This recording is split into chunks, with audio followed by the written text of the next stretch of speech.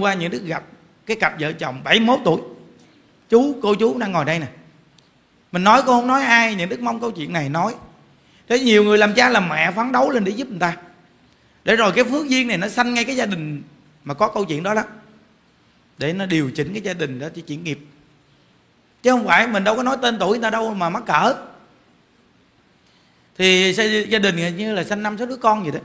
Mấy đứa khác thì được. Có thằng con trai mà gia đình nói rằng có nghĩa là ông bà 71 tuổi mà gặp như Đức nói chuyện nói có thằng con nhỏ. Nó ủa cô chú 71 tuổi mà sao con nhỏ? Nó mấy tuổi? Nó là 29 tuổi rồi. Có nghĩa là cái tâm làm cha làm mẹ thương con. Nên, nên mới có câu nói là con dù lớn vẫn là con của mẹ mà. Nên từ nơi đó mà con nhỏ chú gặp những đức duyên chú nói thầy ơi, cũng kể cho thầy nghe chuyện hoàn cảnh gia đình. Có năm đứa con mà bốn đứa thì nó được lắm. Còn thằng này, thằng út nó em chín tuổi. Nó cũng học bằng cấp cao lắm đó thầy. Như ờ, đại học ra trường đó. Cũng bằng cấp cao á. Rồi á, nhưng mà nó ờ, ghiền game. Thầy biết á, nó không có làm gì chứ á. Tối ngày sáng đêm là nó trong phòng đóng cửa lại rồi nấu ăn đem vô đó để đó rồi nó mua thêm cái lò để cái bên. Rồi nó ham rồi ăn lại nó ăn. Giờ mình ăn thì nó không ăn giờ mình ngủ nó không ngủ. Nó là ăn uống ngược lại hết trơn á. Nó ở trong phòng suốt bấm game bấm điện tử suốt gì trong đó, đó. giờ vợ chồng cũng lên đi tu. Xong rồi à, qua chủ nhật chạy về nấu miếng đồ ăn để lại cho nó. Xong mới chạy ra đây lại quan âm nhưng đức hỏi, nếu mà không nấu cho nó ăn rồi sao? Mẹ nó thấy ờ, có khi mà nó ghiền đến mức mà à, ngày mấy mà nó không ăn gói mì, rồi sợ nó chết. Nên ờ, chạy về nấu mấy đồ ăn, rồi chạy lên đây lại quán âm nữa. Mẹ nó tội nghiệp, sợ nó chết. Rồi xong rồi những đức nói rằng ờ, cô chú có nghĩ rằng một ngày nào cô chú sẽ chết không? Rồi khi cô chú chết, rồi ai nấu ăn cho nó?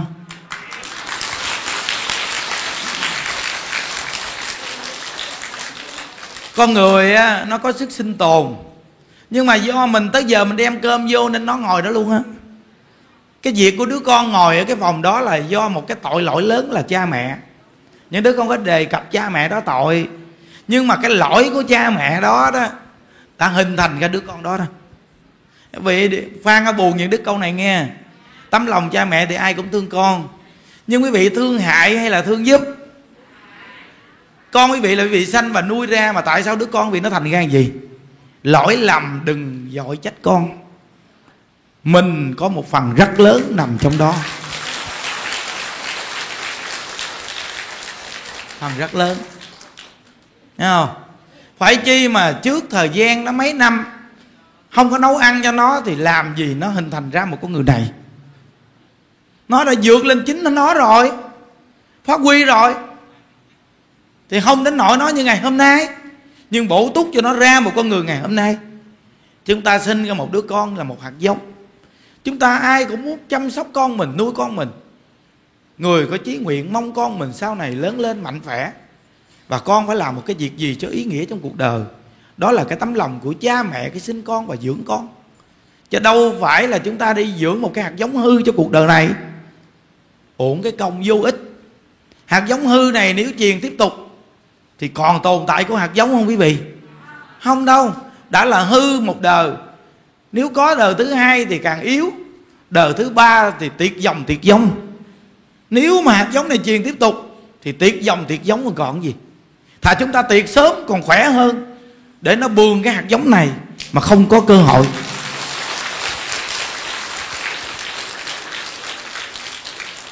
Nên trong nhà Phật vì sao á, trước cổng tam quan á, một bên để đại từ một bên để trí tuệ. Bên để từ bi bên để trí tuệ. Từ bi trí tuệ. Từ bi là sự dẫn dắt thương yêu bảo bọc. Trí tuệ là sự quyết định mạnh mẽ quyết đoán cho một con người. Thấy không?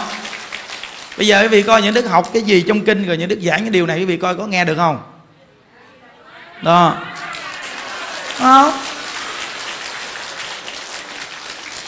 Đó.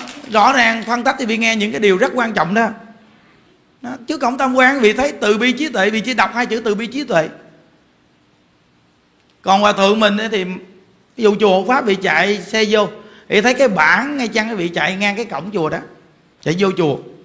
Cái mặt phía sau của vị trí cổng chùa, phía ngoài thì để chùa hộ pháp. Phía sau, vì thấy có bốn chữ. Vì đọc thử coi. Di tuệ thị nghiệp. Di chỉ có trí tuệ là sự nghiệp lớn nhất của đời người. Thấy không? Nên trong trí tuệ nó có từ bi, Vì trí tuệ nó mạnh mẽ, Thương người có sự mạnh mẽ, Để giúp cho người ta phấn đấu lên. Đó là thật sự từ bi. Còn nếu dung dưỡng người trở thành gà công nghiệp Uổng phí cuộc đời. Tuổi trẻ bây giờ đa phần người ta ưa gọi nó là gà công nghiệp. Vì bấm điện thoại Ăn mập thay thay To thăng lớn xác chí lại nhỏ. Quý vị coi gà công nghiệp nuôi ở trong cái cái cái lồng mỗi ngày bỏ gạo cho nó ăn. Ăn đi túc túc túc túc túc ăn đi. Trộn thêm chút xíu mòi màng vô với cái thuốc mà mà mà mà, mà phát triển cơ thể mau thì từ nơi đó cho nó ăn. Vài tháng sau, cái thời gian của gà thường, người ta nuôi cả năm chờ người ta mới ăn con gà. Giá chót gì cũng sáu bảy tháng người ta mới ăn con gà hơi nhỏ. Còn con gà cả năm năm mấy? Gà công nghiệp mấy tháng thôi. Thì đem con gà bự, chà bá đem ra. Thịt thà, bao la, xương có chút xíu. Đi không nổi. Bước ra thì chân rung rung rung. Đưa ra, ánh sáng nắng mặt trời. Thì sợ. Tại vì sao? Mày tối ngày chỉ nằm trong cái lòng đó thôi để chờ người ta giết thịt. Đứa con học ra tới bằng cấp như vậy mà trở thành cái gì? Gà công nghiệp. Đó là gà công nghiệp. Cho nó ăn chi? Mày bò ra ngoài ăn. Để tương lai mày làm gà nồi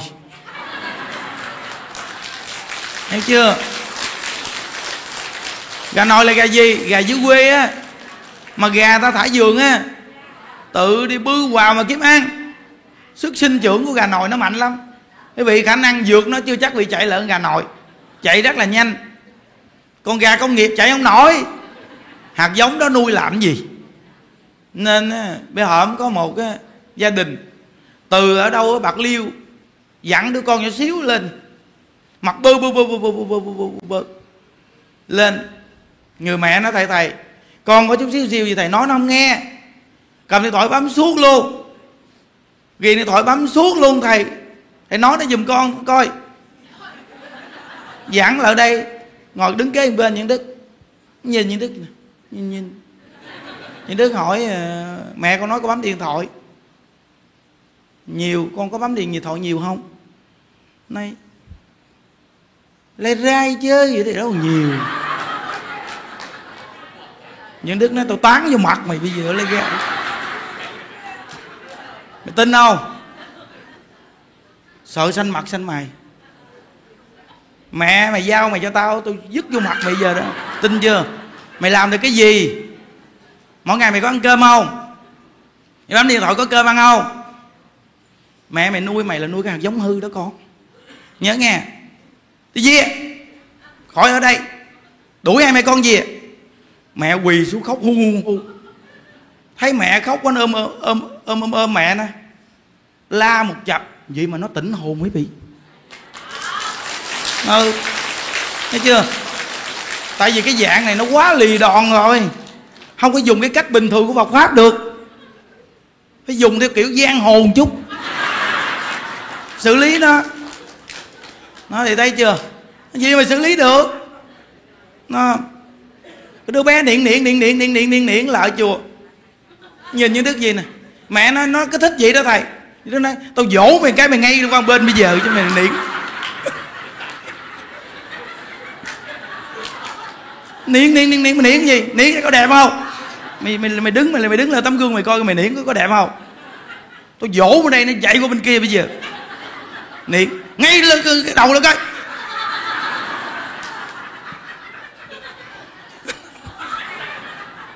Chưa từng thấy ông thầy nào nói chuyện kiểu đó, đúng quý vị.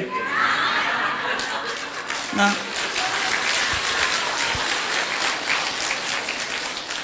cảm giác được vuốt ve hoài.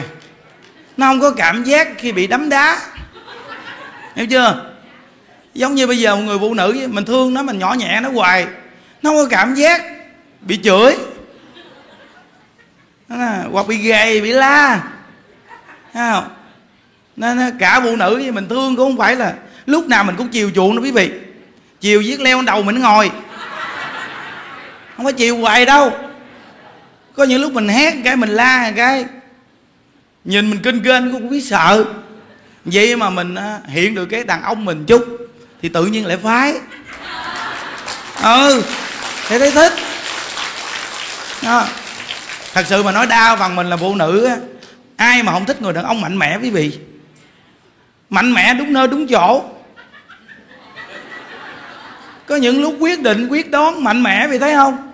Mình theo người đàn ông thì mình yên tâm, nó làm chủ cho mình. Chứ người đàn ông mà, chồng của mình mà nó yếu đuối giờ mình sống với nó trong nhà mình cũng dễ bị ăn hiếp. Thử ờ, chồng mình mà nó mạnh mẽ đi, nó đúng đắn đi. Nó có lễ phép, nó đúng đắn mà nó lại mạnh mẽ đi. Mình làm vợ nó cũng, người ta không dám ăn hiếp mình. Còn mình ờ, theo thằng chồng nó quá hiền, nó chỉ có hiền thôi chứ chưa đủ. Bây giờ mình còn phải bảo vệ cho chồng mình đó. Thôi thôi chịu thua. Chịu thua rồi. Nên mình vô phước mình mới có người đàn ông vậy tuy là cũng có nhưng mà lại là không đặc biệt. Người đàn ông á, nó có đạo đức nó có sự hiền hậu nhưng mà nó có phải mạnh mẽ. Có những lúc mạnh mẽ nó cần phải mạnh mẽ. Có những lúc quyết đoán nó phải quyết đoán. Vì mình là chủ một gia đình thì mình phải có cái góc độ đó. Hiểu không? Giống như bây giờ nhà đức đi tu thôi, mà cái chuyện tất cả các cô mình như đức cũng thương. Nhưng mà như đức nói, đừng có giỡn mặt nghe chưa? Cái làm việc là phải ra làm việc rõ ràng đó. Trước mặt tôi mà làm việc mà mặt buồn buồn là đi đem cái mặt ra chỗ khác. Nước vậy đó quý vị. Chuyện thẳng thắn vậy đó, làm việc trước mặt tôi đi ra chỗ khác đừng có buồn. Cái mặt nhau nhau đừng có buồn, đừng đi chỗ khác. Tôi dọn cái mặt này đi chỗ khác. Không có để cái mặt này trước mặt tôi đâu. Tại vì tôi không muốn thấy nhìn những cái điều nó nặng nề vì tôi còn truyền tải tư tưởng nhiều năng lượng. Nó làm ảnh hưởng năng lượng của mình. Thôi, đem cái mặt dọn chỗ khác. Đem cái đầu khác đắp vô. Đó. rất là rõ ràng quý vị. Không có giết người ta mà đem đi để chỗ khác. Đúng vị trí. Đúng vị trí công việc. Đừng cho ai thấy. Tại vì mặt buồn quá cho người ta thấy làm chi nữa. Đem đi chỗ khác cho đừng ai thấy. Chừng nào vô đó, lau chùi sạch sẽ, ngon lành lúc đó đem ra. Nó rõ ràng nghe quý vị. Chứ không phải mà bây giờ như đức hỏi quý vị là cái mặt tiền ai đưa cái gương mặt? Làm ăn gì được không? Ai mà đi đem cái cái, cái gương mặt đó ra mặt tiền? Thấy không? Có ai mà nói mà giờ á quý vị mới buôn bán ra mà kêu cái người ăn mở hàng giùm mà kêu cái bà đem đồ ăn bà cầm cái cái tơ chén lên bà cầm cái muỗng múc.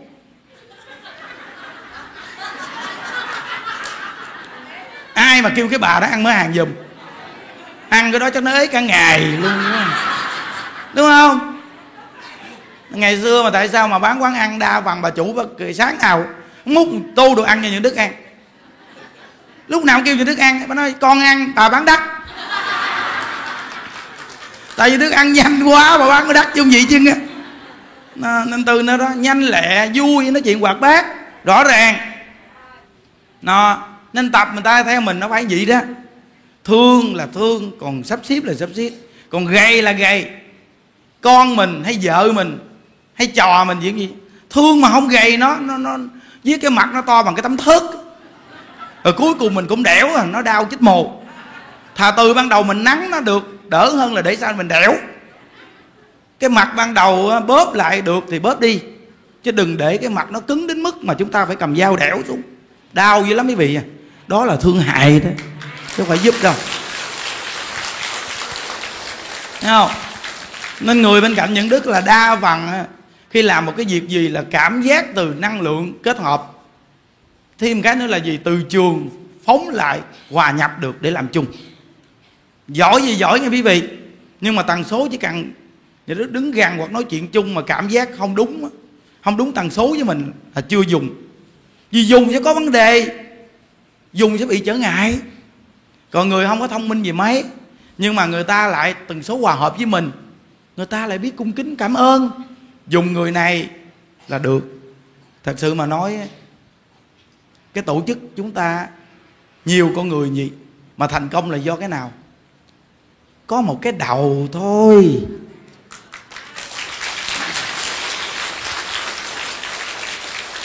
Ngày xưa những đứa còn cư sĩ đứa đi đến chùa đi chắc được mấy tháng đi đến chùa tụng kinh, đi vòng vòng chùa người ta.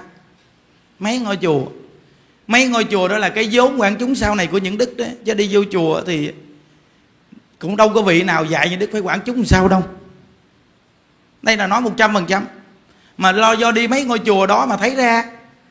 Đi vô ngôi chùa thấy năm bảy người thầy thì năm bảy phật, nhóm phật tử đi theo. Mỗi ông một nhóm phật tử rồi bắt đầu đi làm từ thiện, đi quyên góp, nghiêng nghiêng nghiêng nghiêng, đi chỗ này, đi chỗ kia. Nhìn từ cái tập thể như vậy, nó thiếu sự đoàn kết, mà đấu đá nhiều. Một cái cho những đức nhìn thấy, thêm cái nữa vô chùa thấy năm, bảy thầy tụng kinh. Thì cuối cùng nhóm này thích ông thầy này tụng kinh, nhóm kia thích thầy kia tụng kinh. Tới giờ ông thầy này tụng kinh thì nhóm này vô tụng. Tới thầy ông thầy này tụng thì nhóm kia vô tụng. Nó không có tập thể. Tới đời như đức như đức nói tao tụng kinh dở, một mình tao tụng luôn.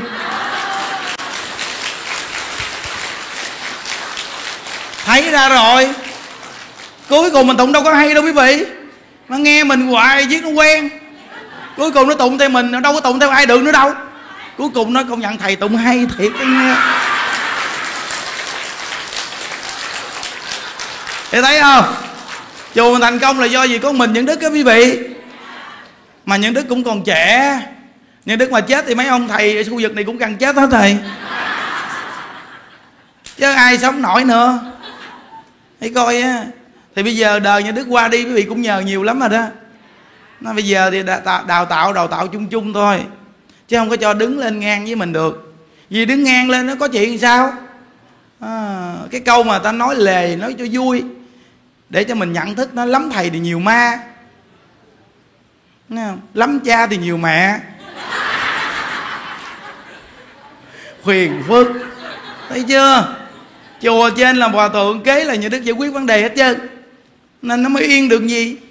Chứ mỗi ông mà mỗi đứng một cảnh giới thì khó lắm mấy vị ơi. Nơi đây những quan ngay bên kia những lăng đồ, nhà đức nói cái gì? Cứ sắp xếp vậy là làm đi. Tại vì đời nhà đức làm thành công thấy rõ ràng rồi, còn cái gì? Bộ nhà đức thất bại sao? Thất bại thì không có quyền nói, nhưng mà thành công là có quyền nói. Thấy không? Vì thấy nhà đức chia sẻ Phật pháp không có lý luận cao siêu, mà lý luận thật chất. Làm đó. Nó. có cái cô kia có nói, thầy thầy, con thấy thầy bây giờ tiếng tâm cũng nổi bật quá mà sao thầy giảng pháp có nhiều văn tự quá đơn giản? Và thầy ờ, có những lúc thầy làm giống như ờ, không được bình thường. Thấy không? Những đức nói như thế nào cũng được, miễn làm được là được. Đúng không? Cái quan trọng vẫn là thật chặt. bây giờ như đức hỏi quý vị quý vị nấu cơm, cái quan trọng là gì? Miễn có cơm đem ra, chín ngon là được rồi. Đúng không? Vì chụm lửa sao không biết? Miễn sao mà cơm đem ra chín ngon là được rồi. Đó là cái quan trọng. Thấy không? Vì thì hành đạo nhiều cách. Kể túi. Thấy không? Miễn phù hợp thì thôi chứ. Nên ờ, có những cái mình đơn giản, nó cũng có cái hay của đơn giản. Một là gì? Cái mặt nhỏ lại đêm đó cái mặt nó to ra làm sao? Để quý vị nhiều người bị mà. Tu viết đạo không to mà mặt to. Mặt quá bự. Ai chỉ cần nói một cái là chịu không nổi. Đúng không? Đừng có nói là xuất gia. Quý vị là cư sĩ mà có khi quý vị cũng to cái mặt. Ban đầu mới đến chùa dạy sao cũng nghe da yeah, da yeah vì mà vài năm sau tưởng đâu có công với tam bảo. Đụng tới một cái là bỏ chùa bây giờ á. Xưa giờ không có tôi sống nổi không? Nó thấy chưa, thất bại rồi đó. Có không? Nó tự coi lại cái tâm tu của mình á. Dù là còn cái nghiệp đó nhưng mà vẫn thấy ra cũng còn có cơ hội được cứu. Còn hơn là ấp lấp mà không chịu nhìn mình thì hết cứu rồi nó nghe. Thấy không? Đó. Phật pháp là gì? Phật pháp là một cái phương tiện để chúng ta nêu lên căn bệnh để mỗi người chúng ta coi mình dính căn bệnh nào. Như bây hôm như đức kể mấy câu chuyện đó. Người ta nghe pháp ta phát quy thêm cái bà lắc đầu. Bà nghe như đức giảng mà bà khai ngộ á. Bà lắc đầu như hoài, bà nói nè. Lắc đầu hoài, ngưng, muốn ngưng mà nó không ngưng. Nó lắc lắc lắc lắc lắc lắc lắc lắc lắc hoài. Lắc lắc lắc lắc lắc lắc lắc lắc. Cuối cùng mới nghe như đức giảng. Mà giảng tới công đoạn mà ngày xưa mà như đức bị chửi mà ngày nào cũng cố gắng để đừng bị chửi. Mà cứ chửi mình là bị động. Cuối cùng như đức nói sao giờ này chưa chửi? Đổi lại. Là giờ này sao chưa chửi? Giờ này sao chưa chửi? Chửi rồi mừng. Thì bạn nghe đoạn này bà, bà, bà khai ngộ. Khai ngộ là hiểu quý vị. Câu khai ngộ nghe nó cao quá chứ thật sự là hiểu á thì bà vừa nghe bà hiểu cái này à thì ra nếu mình không muốn nó lắc mà nó lắc là bị động. Vậy thì mình còn lắc hơn mày lắc nữa. Mày đã lắc rồi tao kêu mày nghĩ mày không nghĩ bây giờ tao lắc. Bà lắc tạc tạc tạc tạc mà bà, bà bắt cái điệu địa chung của nhân đức lên. Điệu chung điệu nhanh á. Cái máy siêu siêu điệu địa chung mới bắt lên. A di đà phật a di đà phật a di đà phật a di đà phật a di đà phật a di đà bà lắc đến mức mà tắt cái máy là cái đậu ngừng. Vì nó bị lắc mỏi quá, nó chịu hết nổi. Mình chủ động nó chịu hết nổi, quý vị. Cuối cùng nó nói, mày nghĩ tao bật lên nữa bà lắc nữa. Bà chơi đâu một tuần lễ, đầu hết lắc luôn. Kinh khủng không? Đó, khai ngộ thấy chưa? Áp dụng liền. Còn cái ông mà như đứa kể câu chuyện mà ông lắc đùi á. Đùi giật giật giật giật giật giật vậy nè giật giật giật giật vậy nè. Ông cũng kêu nó ngưng, dịnh lại. Dịnh lại thì ở trong thịt nó thực thực thực thực thực thực thực thực thực cái trọng kinh chưa? Tiếp tục, ông dùng cái cách ừ, bắt cái điều đi chung là ông lắc luôn. Lắc liên liệu lắc còn mạnh hơn nữa. vậy mà cuối cùng nó hết quý vị kinh không? Chủ động nó lại á. Còn kia là mình bị động. Nên nhiều người mà ngủ không được á, đừng có ngủ. Đã ngủ không được mà muốn ngủ là căng thẳng thần kinh đó nghe một trăm phần trăm bị luôn mấy vị mà ngủ không được mấy vị mà cố gắng ngủ là nó căng thẳng thần kinh. Uống thuốc ngủ thì còn nguy hiểm ác đạn hơn nữa. Vì uống thuốc ngủ là nó giống như là nó nó nó nó câu thúc mình và nó nó nó, nó đi ngược lại cái cái cái khả năng của mình quý vị ơi. Không có tự nhiên. Mà lâu ngày nghe là hết chị đó. Lâu ngày là khó chị đó chứ không phải diện giỡn đâu. Giống như có những người người ta uống miếng cà phê vô để người ta tỉnh. Đây cũng dạng bệnh hoạn mà bệnh nhẹ bệnh hoạn chứ gì? Tự nhiên giờ mình ngủ thì mình ngủ, giờ buồn ngủ thì buồn ngủ, còn giờ mình không ngủ thì mình cố gắng. Chứ bây giờ uống cà phê rồi để tỉnh, đó là cũng bệnh hoạn chứ gì? Cái bệnh hoạn này lâu ngày tới khi cặn tử nghiệp là có vấn đề. Cặn tử nghiệp là có vấn đề quý vị liền, chắc chắn quý vị luôn. Vấn đề gì? Vấn đề là quý vị phải có đội cà phê. Sao vị niệm phật giảng sanh đây? Vì cái quân tập quý vị đến mức cực điểm rồi. Lúc bình thường quý vị tưởng là tu được, đúng không? Nhưng mà lúc cặn tử nghiệp, quý vị sẽ trở ngại nè. Kết luận cuộc đời, quý vị mắc phần giảng sanh. Ráng chịu. Nó nên cái người mà ngủ không được thì khỏi ngủ. Sợ quý vị không có pháp tu thôi. Bây giờ có nhiều người người ta niệm phật mà người ta muốn thức mà người ta phải ngủ kìa. Lên niệm phật mà vừa bắt địa chung, lên niệm cứ chút xíu 10 phút thôi mà. Mà cái mặt muốn ngủ kỳ lắm.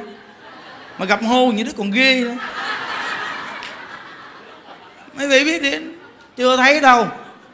Ngồi ở đó lên trên chánh điện tu kìa. Có cái ông ngồi kế bên mới giờ nam mô a di đà phật, nam mô a di đà phật. Mình chút mình nghe im gu không nghe tiếng gì chứ. Mình nghe lâu lâu. Nữa thở thở thở còn ngày xưa tụng kinh vô lượng thọ, cái ông tâm nhiên này nè. Ông tâm nhiên này ông kinh khủng lắm. Ông này là ông ngủ ác đạn lắm. Ngủ không tưởng tượng được này là một trăm phần trăm không phải là biêu xấu gì chứ nghe mà thật sự ngủ. Người bên cạnh những đức thì đừng có bao giờ mà nói hai chữ mắc cỡ với những đức. Mắc cỡ là chỉ có con đường chết thôi sống có nổi với những đức đâu. Đánh gậy gậy tối ngày mà hỏi sao mắc cỡ. Không nói là cái danh cái gì nữa chứ những đức còn đánh những đức mà. Thì vì ngủ thì buồn ngủ thì ngủ thôi. Mà mình ngồi tụng kinh ăn chút nè. À, da, da, da, da. À à à, à, à, à, à.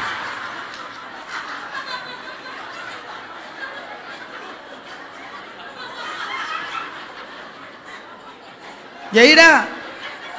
Còn lễ vật á là khi lại xuống là nằm khoảng cỡ ba bốn lại mới ngồi dị ngủ tại chỗ luôn. Lễ phật á. Thì thấy không? Phải trở ngại không? Tu nhưng mà nó lại ngủ, còn có những người muốn ngủ mà nó lại không ngủ. Quý vị, thường là bị động. Bây giờ nó không ngủ, bây giờ mày muốn không ngủ, phải không? Thì khỏi ngủ, con. Quý vị, niệm phật đi. Bắt cái điều địa chung lên, điều đó nhanh nghe. Hoặc cái điều niệm phật nghe, bị mở mắt cái gì nè, mày không ngủ mà. A di đà phật, a di đà phật, a di đà phật a di đà phật a di đà phật a di đà phật a di đà phật a di đà phật rồi một chú vị thấy con mắt vị nó mỏi. Nó mỏi kinh khủng luôn. Rồi lúc nó mỏi vì nó, mày mở ra cho tao. Bị làm trong suốt một thời gian đi rồi bị cho thấy. Rồi lúc đó nó sợ chết mồ nó rồi nó đi ngủ. Bắt buộc phải ngủ. Nó ngủ luôn hả quý vị ơi. Tại vì mở nó ra. Còn cái này quý vị gì nè? Đã không ngủ được, quý vị làm nè?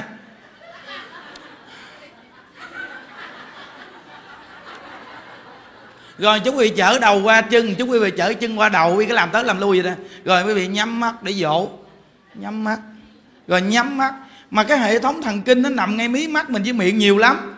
Mà nó đã không ngủ mà mình đi cố gắng ngủ là thần kinh bị ảnh hưởng. Lớn hơn là vì không ngủ nữa. Thà vì không ngủ được thì đừng ngủ. Vậy đó mà sáng nó vẫn tỉnh. Bởi vì mà làm thử vòng mấy năm chờ không ngủ, không có tác hại. Không có tác hại chứ tỉnh veo ngon lành luôn nhưng mà bị cố gắng ngủ là bị sẽ ba trợn liền á. Cố gắng ngủ là có ba trợn á. Tại vì ngủ không được, mà cố gắng ngủ là người sáng nó bằng thằng. Bằng thằng. Còn mình ngủ không được, mở mắt ra.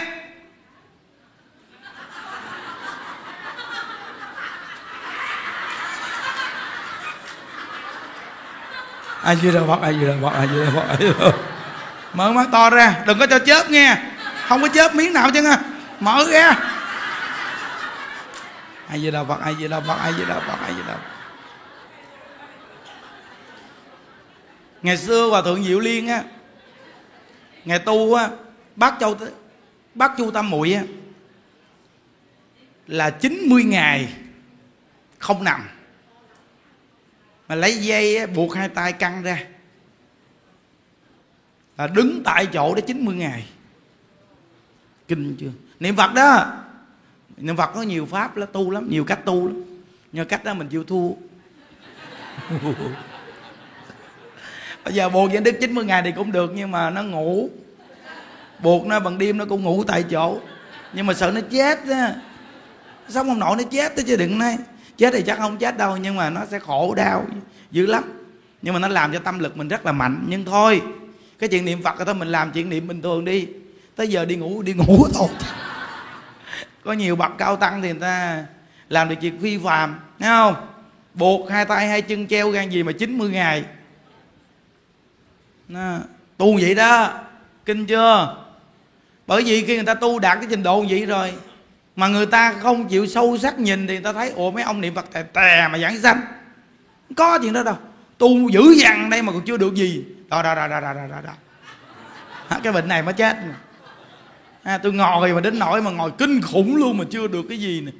Rồi coi những câu chuyện mà mà, mà những bậc tu thiền kinh hồn luôn mà chưa được gì mấy ông lè tè vậy có bậc hiệu muốn giảng sanh. Phương tiện đó làm gì có thật. Đó thấy chưa? Tại vì sao? Vì mấy ông tự lực. Bây giờ như đức hỏi quý vị quý vị đi đến à, con đò. Đò bên kia để đứng bên đây. Nếu mà bên kia mà nó chưa có khách gì, thì quý vị à, nếu muốn nhanh chút thì kêu, đò ơi! Đò! Đò! Đúng rồi. Ơ, là đúng. À. ta kêu đò mà để, ta kêu mình buồn ghê. Ờ. Đò ơi! Thấy chưa? Thì đò nó đi qua thì mình lên đò. Mình lên đò xong rồi, cái người lái đò người ta lái qua bên bển mình xuống. Xong. Còn bây giờ quý vị đi đến bến đò, có đò vì nó không tao không lên đò. Hỏi làm gì à? lội qua sông được không? À. Đúng không? Thì vị phải có năng lực lội qua sông. Đi coi con sông nào nên lội. Có những con sông bị lội qua được vì sông nhỏ. Còn vì ra sông cái bị lội đi vì lội chưa qua bên kia nó trôi bị xuống dưới hốc cà tó ở dưới. Chứ đừng nói vậy thôi. Phải coi là khả năng mình chứ. Nên đức phật đã nhìn được căn tính mình nên đức phật á, kêu mình lên đò đi con. Giống như từ đây lên à, thành phố. Mình đón xe nào đó mình đứng chỗ nào á. Thì mình lên xe lên xe mình ngồi mình chơi niệm phật một chút rồi tới ờ, bến xe thành phố người ta thả mình xuống. Ngồi nhà ở đâu? Ở nhà tôi đó. Thả ngay trước cửa nhà đi vô. Khỏe không? Còn mình nói tao không đi xe. Nói gì mày đi bằng gì? Tao đi bộ được không? Dù là mày biết đường đi đây lên thành phố mày đi nổi không? Cái này mới quan trọng đó. Nên, nên có những người nói rằng là mình phải thấy ra con đường. Thấy thì thấy rồi đó nhưng mà đi được không? Đúng không? Bây giờ trong kinh phật đã nói rõ ràng con đường thế giới cực lạc là gì như vậy. Nhưng mà nó mười muôn ức cõi phật. Bây giờ mười mười muôn ức cõi phật. Vậy thì con đường nào mà mình thấy đây? Dù có thấy đi chăng nữa mình cũng không biết làm sao mà đi nữa. Vậy thì bây giờ ai đến rước mình? Ai? Phật ai với đà đến rước mình? Thì giống như y gan á, là tài xế xe. Họ đến họ rước mình con đường thì họ biết rồi. Mình leo lên xe mình ngồi thôi thì họ đưa mình đi về tới cái chỗ mình cần đến. Còn bây giờ mình niệm phật, thì chừng nào phật ai đà đến trước mình, thì ngài đến, ngài nắm tay, ngài dẫn mình đi. Mình chỉ cần đi theo phật a di đà ngài đưa mình đi đâu, mình đi theo đó. Ngài đâu có hại mình đâu mà sợ. Nên đức thích ca mâu ni, ngài biết cái căn tính mình về sau này dở dữ lắm, tệ dữ lắm. Nếu bỏ đại cho mình tu những cái pháp tự lực, thì bản thân mình cứ như lạc lối hết trơn. Không có ai được cứu đâu mà hòa thượng mình ngài cũng nói mà, nếu như mà năm xưa đức thế tôn ngài không khai thị về tịnh độ, thì chúng sanh trong thời mạt pháp này tiêu hết trơn. Không có ai mà được ờ, đời này đắc đạo đâu. Nhưng mà nếu niệm phật mà đi vào tự lực cũng tiêu luôn. Vì có những người niệm phật mà cũng đi vào tự lực nữa. Họ phải đạt công phu gì đó. Nếu bị đạt công phu thì chắc quá rồi. Gặp phật a di đà thì chắc quá rồi. Thấy thế giới cực lạc thì chắc quá rồi. Cái việc này nó quá bảo đảm rồi, đúng không? Nhưng mà tôi niệm phật không, tôi không thấy phật. Không thấy cái thế giới cực lạc gì hết trơn á. Có được giảng sanh không? Được. Phật ai đã đến dẫn gì đúng không? Nhưng quý vị nhớ, đạt đến công phu đó thì cũng phật ai đã đến trước điểm nào phật ai đà cũng đến trước hết trơn. Nhưng vị đạt đến đỉnh cao vậy luôn thì nó quá đặc biệt rồi. Nói chi nữa? Nhưng sợ vị có đạt được không? Mà không đạt được như vậy mà quý vị không đi vào pháp nhị lực thì bị thất bại rồi. Thất bại rồi. Nên chúng ta cần đi vào pháp nhị lực là cứ nghĩ bản thân mình là kẻ phàm phu tội lỗi. Rồi mình chăng thật, mình tin phật, mình niệm phật. Dù gặp sự trở ngại gì mình cũng niệm phật, khổ đau gì mình cũng niệm phật, bị la gầy gì cũng niệm phật, như thế nào cũng niệm phật. Thì đó là mình tin phật khi cuối cuộc đời con chỉ cầu mong một điều, đó là phật ai đà đến trước con về cực lạc là được rồi.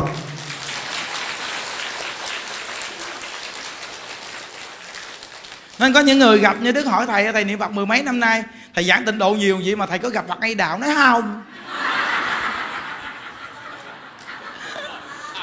Trả lời liền khỏi cần suy nghĩ. Thầy có thấy giới cực, thấy thế giới cực lạc không? Nhiều chùa tôi còn chưa biết nữa, đừng nói chi mà thế giới cực lạc bây giờ hỏi chùa sau hè đại tùng lâm còn chưa biết chùa ai nữa. Tôi chỉ biết đại tùng lâm này, chỉ biết thế hộ pháp, đạo tràng ba. Chỗ nào của tôi tôi biết, chỗ nào không phải của tôi tôi không biết biết chi? Không? Biết chi cho nó mệt. Đó mà tôi biết nhiều đó thôi. Hỏi thế giới cực lạc. Không! Ông có biết? Biết. Thấy mệt không? Không! Biết coi. Vậy đó. Mà tôi lại ác lạ. Cái quan trọng là tôi vui nè, tôi càng tu càng vui. Mày thấy rõ ràng tôi vui không?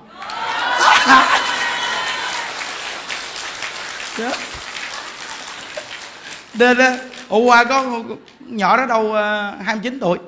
29 tuổi cũng còn trẻ hay không? Tóc dài tha thước. Đến gặp nhà đức này công nhận nghe. Thầy giảng vui nhất luôn. Bữa nào mà không nghe thầy giảng, ngủ không được luôn. Á nhà đức này đúng không? Đúng không? Thấy chưa? Miễn sao vui thôi quý vị? Có gì đâu nói chuyện xong rồi nói thì ra ngoài đó đăng ký đi. Nói, ủa, sao mới vui sao kỳ? Bây giờ bây giờ là công việc công việc. Đi ra ngoài đó đăng ký. Giao điện thoại đàng hoàng nghe chưa? Mệt chết. Thấy không? Nên từ nơi đó, vui. Mới vui đó, rồi trở mặt đó. Nếu quý vị mà hiểu ra, thì trong cái cuộc đời này nó là như vậy đấy. Thương đó rồi ghét đó. Vui đó trở mặt đó được không? Nãy thấy thầy trên ờ, trên ờ, chánh điện thầy giảng vui quá mà. Trời ơi, công nhận thầy giảng vui ghê nha. Thầy giảng không thích nhất tôi luôn đó. Thầy giảng vui vui gì? Sao kỳ vậy? Sao kỳ vậy? Cái gì đâu kỳ? Hồi nãy vui là vui giờ sân si được không? Dạy cho bài học gì phải không? Bài học trở mặt trong cuộc đời này rất là mau. Hiểu không? Lúc nào cũng thấy vui lúc nào cũng thấy dễ chứ rồi viết làm lừng thì sao? Có những lúc la một phát, chửi một phát, xanh mặt, xanh mày, rồi vài bữa vui lại. Trong cuộc đời này nó phải gì đó quý vị ơi. Có những lúc cho người ta ăn trái ngọt, nhưng có những lúc phải cho ăn trái đắng. Khi người ta ăn trái đắng rồi, người ta mới cảm giác trái ngọt. Nhưng mà trong cuộc đời người ta được ngọt và đắng, thì hai con đường này người ta đều đi được hết. Lỡ người ta chỉ đi con con con đường bằng phẳng không, mà không được đi con đường mà mà mà mà mà ổ gà đồ này kia, người ta sẽ gặp con đường ổ gà, người ta bỏ cuộc làm sao? Nên dù thương người ta nhưng có những lúc cũng phải cho người ta nếm trái đắng một chút. Đúng không? Có nhiều người nói ôi sao thế chánh điện thầy giảng vui vô cùng mà sao đi lại chùa thầy la dữ vậy thầy? Được không? Tôi la được không? Gần chút muốn cười lên chánh điện tôi giảng cười giờ là công việc tôi phải la. Đúng không? Cái cô cứ nói dạ thầy à, à dạ, dạ, xin thầy cho, cho con cái chỗ nghỉ để mà con tu hành ấy. Ra ngoài phòng đăng ký. Ôi sao nghiêm vậy ta? Nghiệp gì? Hồi sáng mới qua đây, Ba bốn bà bắt gặp. Bác đi chạy từ sau làm này. Thầy Thầy Bà chạy đến gần đứng đây. Đứng lại! Trong khi cục với chậm Từ xa chạy. Thầy Thầy Đứng lại! Có gì không? Thầy giảng vui lắm, học có vui. Giờ này không có vui cái gì? Ủa thầy định đi đâu? Đi qua bên đạo tràng ba. Cho có gian đi. Khỏi đi. Ra kia đi chung với mấy bà kia kìa. Rồi qua bệnh, rồi nghe. Xong hai ba bà nói sao mặt nghiêm ghê vậy? Sao trên buổi giảng vui lắm mà? Sao mà khó quá vậy? Như đức nói sầm xì cái gì? Hả? Thấy chưa?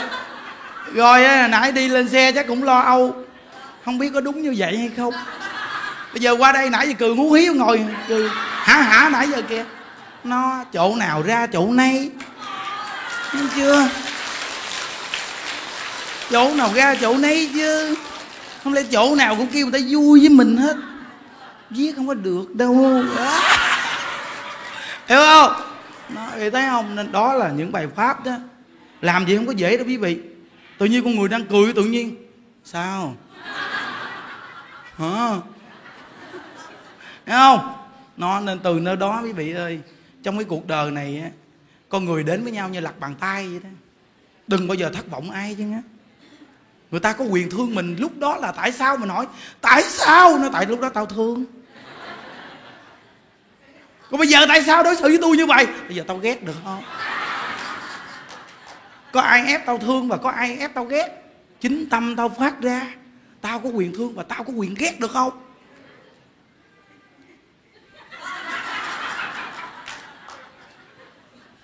Nên từ nơi đó, vậy thì mình cũng có quyền chứ. Mỗi một con người quý vị phải nhớ rằng, sống trong cuộc đời này đừng bao giờ thất vọng ai chứ á thất vọng con người là quý vị sẽ thất bại. Nên nói là y pháp bắt y nhân là như vậy. Người là phàm phu mà thấy không? Có những người yêu mình người ta đã hứa bao nhiêu mối tình chưa? Bao, hứa bao nhiêu tình cảm chưa? Ta hứa người ta lo cho mình quá trời phải không? Nhiều bà đây nghe rồi mà. Có không? Nghe quá trời nghe luôn à đúng không? Phải không? Rồi bao nhiêu là hồi xưa mình còn trẻ mình mình chọc mấy mấy bà đi bạn gái đi. Cho mình nói hứa dữ lắm chứ. Dù nghèo nghèo nhưng mà mình cũng mới hứa nữa. Em yên tâm nó thiệt với em chứ, bây giờ anh đang nghèo gì? Đời em, đời của anh nha. Thầy bói coi rồi. Không có nghèo đâu. Em coi cái chỉ tay này nè. Cái chỉ tay này nè. Coi đi. Cái chỉ tay mà từ ở dưới mà nó đưa lên trên mà nó nằm ngay cái ngón tay cái, nó chạy quẹo thẳng lên trên. Là nghĩa là cuộc đời anh sau này có tiền bạc dữ lắm á, nghe không? Anh bây giờ là anh đã chưa tới cái cái số của anh đó không em coi đi bàn tay nè. Nè, mấy em coi đi. À! Thấy chưa? Từ từ nó đó. Thì biết rằng là nó nên họ họ cũng nói này nói kia, nói dữ lắm chứ. Rồi tự nhiên mình bị động tình. Động tình mình yêu họ. Mà khi mình yêu họ rồi xong họ về rồi lúc đó họ trở mặt. Có mà quý vị có chứ hoặc là mới cưới về mấy tháng đầu hoặc năm, nó thương dữ lắm quý vị. Thương kinh lắm. Thì mới biết rằng là có cô này có nói rằng là chồng của cổ thương cổ á. Mà cấp cưới về trong một năm chờ là, mấy vị biết, nhà cũng khá giả. Là tới giờ tắm là ổng ẩm đi tắm. Kinh vô ông thương nó mất gì đó. Tắm xong ổng lao mình luôn. Vì thấy kinh chưa? Vậy mà qua một năm sau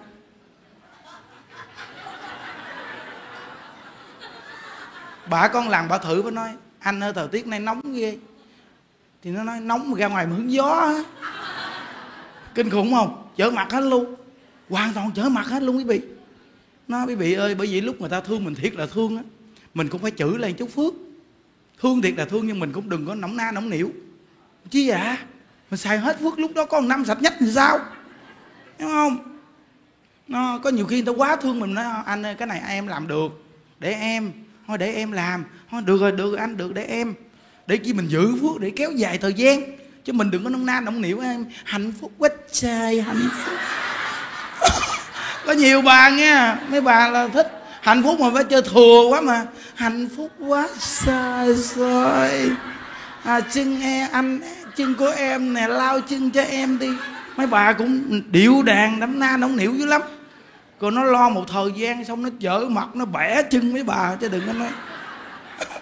Do mình xài phước nhiều quá, hiểu không? Tuy là nói ngang ngang vậy đó, mà ngồi suy nghĩ đi nghe. Ngồi suy nghĩ đi. Thấy không?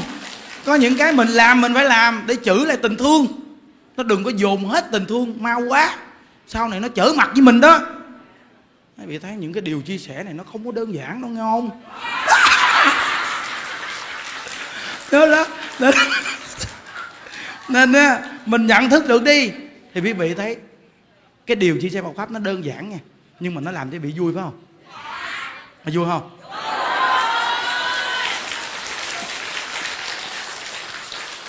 Mà trong cái đơn giản nó có cái cỡ mở. Thấy không? Cỡ ra. Cỡ cái gì? Cỡ cái phiền não ra. Thấy không? Cái gì phiền não thì cỡ ra. Thấy không? Còn đồ để lại. Chứ sao? Cỡ phiền não ra. Đồ để lại. Chứ ai kêu bà cỡ đồ? Hiểu không? Nên à, mình chia sẻ một pháp gì nó sống động quý vị. Cái quan trọng là nó làm cho mấy bà tỉnh, không có ngủ gục. Hiểu không? Mà gặp mà lên đây mà mà kiểu mà nhựa nhựa quý vị. Nhựa nhựa chúng ta phải giảng sanh về thế giới cực lạc. Cái việc quan trọng là thế giới cực lạc phải về. Không? Phải bu xả nghe không? Ăn uống để ăn vừa vừa thôi.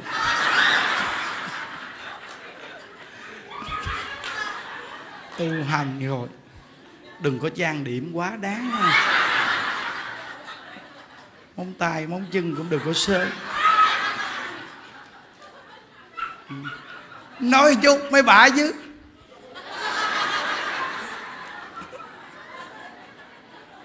Nghe xong bài pháp, công nhận thầy giảng hay ghê. Hay cái chỗ nào, không biết. Vì ngủ ru mấy bà vào mộng luôn bà ngồi bà ngủ ngủ gà ngủ gạt. Thì coi đây như đức nhìn xuống như đức thấy đâu có mấy người ờ, ngủ đâu. Có coi coi. Không thấy ai hết trơn á. Ở đây tôi tôi tôi nhìn có ai ngủ không có ai nhìn có ai ngủ như có ai ngủ không? Đây, đây, đây. lấy cái tay tôi gà tôi biết liền. Thấy chưa? Cái bà cái bà sớm sớm ngủ mở mắt ra kìa. À cái quan trọng là làm cho ta mở mắt ra được quý vị. Hiểu không? Tôi nói thiệt nghe tôi chia sẻ Phật pháp mà trước mặt tôi mà ai mà ngáp là coi chừng. Là mai mốt tôi cho ban tổ chức không bao giờ sắp quý bị trước mặt tôi. Vì sao? Ai muốn bị ngáp. Tâm người ta nói chuyện rầm rầm nhưng mà ngáp. Sao, sao mà ngáp được? Ngáp kỳ cục vậy. Nó nên nên có cô kia mà mà ngồi trước mặt như đức nghe chia sẻ pháp có làm nè. À, à, à, mà mắt có gì nè. Như đức ngồi như đức làm nè.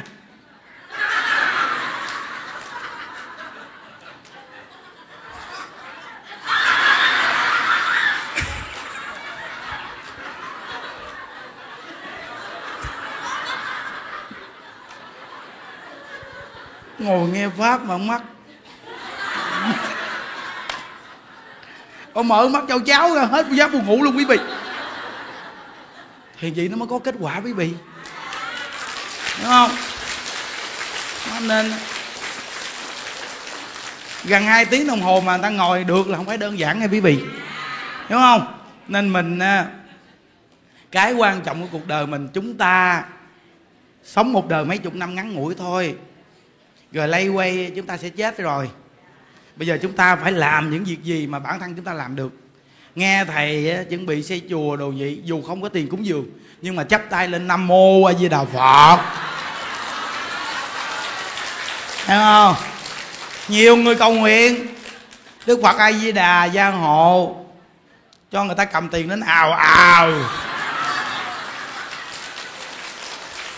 Cho thầy không xây chừng năm rưỡi tôi xong ngôi chùa mọi người mình cầu nguyện vậy tốt quá, quý vị.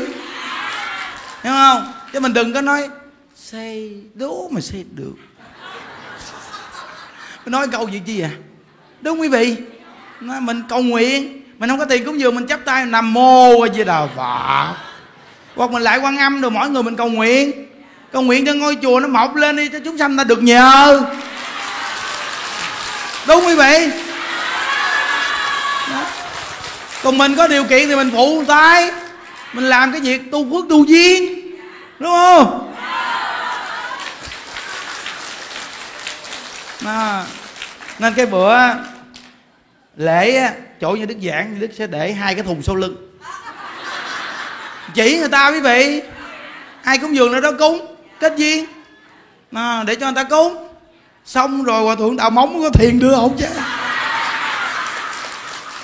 đúng quý vị. Chứ, chứ mình đâu có lấy tiền mình uống cà phê đâu mình sợ. Đâu đi chơi gì đâu mình sợ đúng không?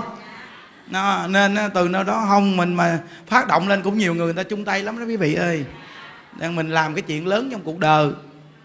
Xong mà qua cuộc đời mình chết cũng có ngôi chùa để lại cho người ta. Chúng sanh được nhờ thấy không? Nên à, chuyến này à, 17 đồ chuẩn bị đi đi không? Đi càng sớm càng tốt. không thì người sớm càng tốt nghe chưa? Là lên mình à, có chỗ mình ở đàng hoàng hoặc là dưỡng sức trước trên chùa đi. Mình tỉnh táo để mình tu. Hai ngày tám buổi. Với thêm buổi bên hộ pháp nó là chín buổi. Nghe không? Bên hộ pháp thì tùy duyên quý vị. Quý vị cứ, cứ, cứ sắp xếp được thì qua. Còn không sắp xếp được thì đi về. Nghe không? Tùy thôi nhưng mà bên hộ pháp mà mình không về nó cũng kẹt lắm đó nghe. À. ờ bên hộ pháp là 20 á. Ờ sáng 20 sáng 20 đó mình à, chia sẻ Phật pháp cũng cái thực bóng xanh cái 10 gửi xong. Nhanh nhất luôn. Rồi đi về. Đừng có ở lại nữa. À, à, à thứ bảy nhật luôn hả? À thứ bảy nhật thì luôn ở chùa pháp luôn đi. Để nhật cùng tu nữa. Gì đâu đúng gì mai? Có gì đâu lo trời ơi. Về nói với nè anh. Chiếc này đi chùa nguyên tuần nghe không? Nhà có lo chuyện gia đình cho tôi đi á. À, chị không quý vị yên tâm đi. Quý vị mà tu viết cái tiếng nói bị nó có quay lực lắm. Không?